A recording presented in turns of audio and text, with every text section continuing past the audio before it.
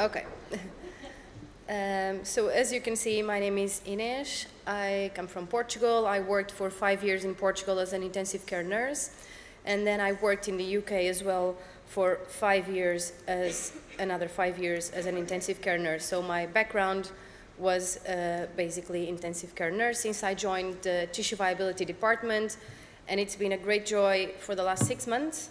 And this is me when we did last year the Pressure Ulcer Awareness Day. And this was, uh, I think, the highlight of these six months to be able to talk to my colleagues and raise the awareness for pressure ulcer prevention and treatment. So today, what I would like to talk to you about is a patient that I had whilst I was still working in intensive care. Uh, this patient was a 60, 61 year old uh, female from Middle East and she, I'll just briefly show you the past medical history of this patient, just for you to see how complex this patient was even before the surgery. So, in a nutshell, she had high BMI, diabetes, and she had previous um, few surgeries previously, total hysterectomy, right breast cancer, and she underwent a right side mastectomy. Then later on, she developed autoimmune hepatitis, and the pancreatic tumor was diagnosed last year, uh, two years ago, sorry, and that's when she was referred to us for a Whipple's procedure.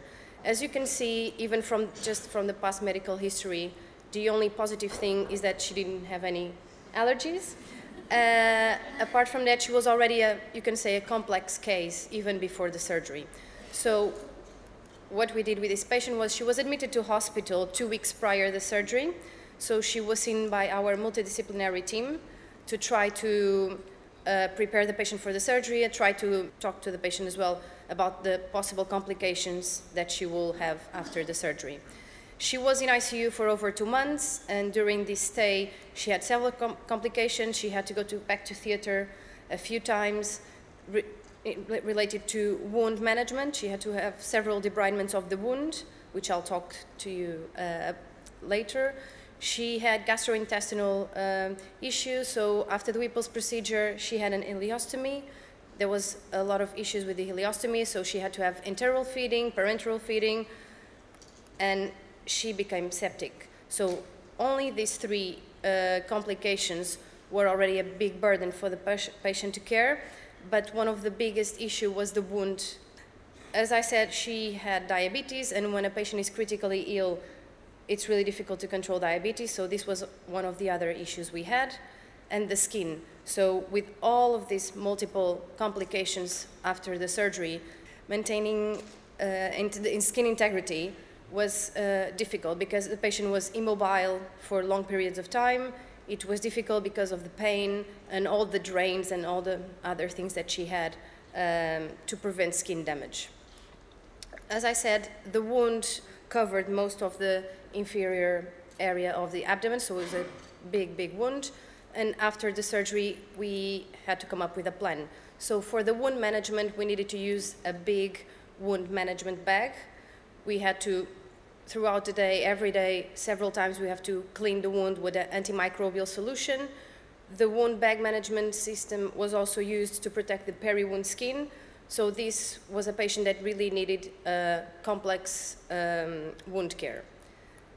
After three months, she was with us over two months in ICU, and then she went, was transferred to the ward the management changed a little bit. The wound was prog progressively getting better, getting smaller, but we still had to worry with infection and exudate management. So we just changed a little bit our approach, but still we had to support the nurses on the ward because it, all of the comorbidities, the patient was still a complex, a complex patient. And then finally, when the patient was discharged, the wound was almost healed, which was, for a lot of us, was seen almost as a miracle because the patient went through so many episodes when she almost uh, lost her life. So it was really good when we were able to just transfer her to a rehabilitation center and just hand it over our ongoing care plan. So the main thing that I wanted to bring to you today was to show you how the intensive care team liaised with the tissue viability team and as well with all the other teams that were involved to show how much effort we had to put on to deal with this patient complex wound. So as I said, the patient had to go through several surgeries. So general surgery was involved because of the previous Whipple's procedure. Plastics team was involved with the general um, surgery team to treat for the wound, wound management and ileostomy management as well. The colorectal team and stoma nurse were involved daily for the care of the ileostomy as well as the wound, wound care, and they worked really closely with the dietitian and nutrition specialist nurse. So this patient was reviewed daily when she, while she was still in ITU.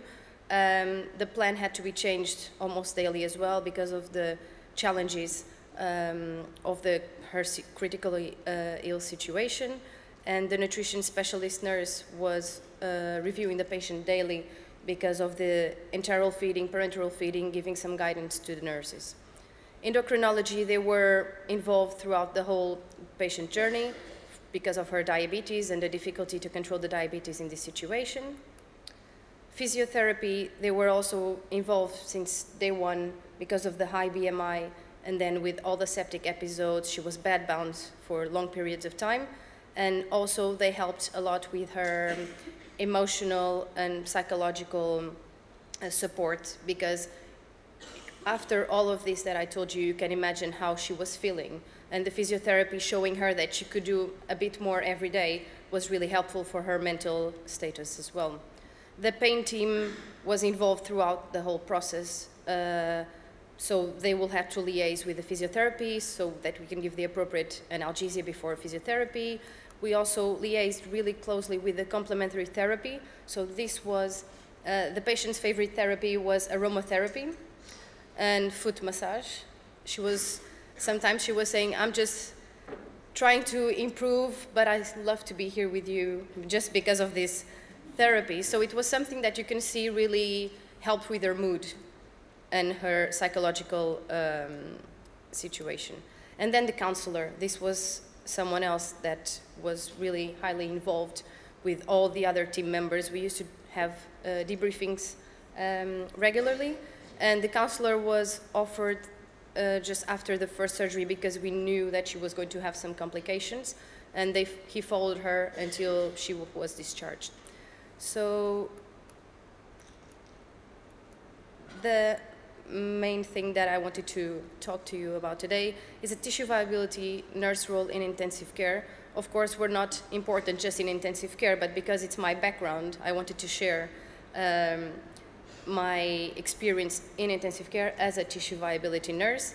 I think we have a paramount role on liaising with all the other teams, and because we, we don't work just in one department, we go around the hospital often, it's easy for us to know with whom we need to talk about. And as well, because we spend so much time with the patients, it's easy to have a good relationship with the family. And they were the, the other members of the team. I didn't mention them in the circle, but they were really, really important to keep the, the patient motivated to improve. And uh, they still uh, talk to us from time to time and she's doing really well. She's she was back to her country, um, and this is what I wanted to share with you today. Thank you.